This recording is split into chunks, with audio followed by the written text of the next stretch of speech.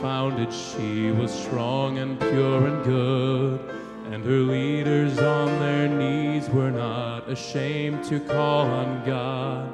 But our nation in her pride has turned her back upon the right. And the clouds of evil threaten to turn glory into night. Strong wickedness has crept in like a cold and bloody thief. Those who know the Lord and do his will stand by in disbelief. For the love of God and country, we must not cease for a day. For the future of our children, we must lift our hearts and pray.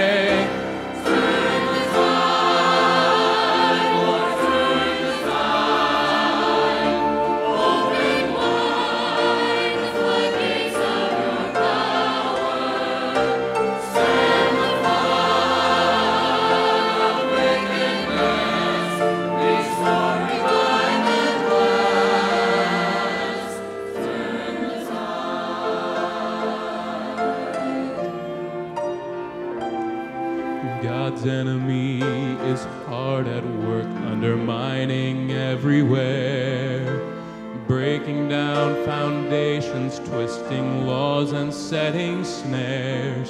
He will take away our freedom and replace it with despair.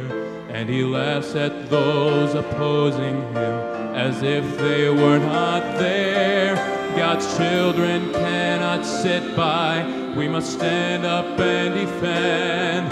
For the battle is not over till our King declares the end. We must work and fight and meet him, not as those who beat the air. For the greatest weapon in our hands is strong and fervent prayer.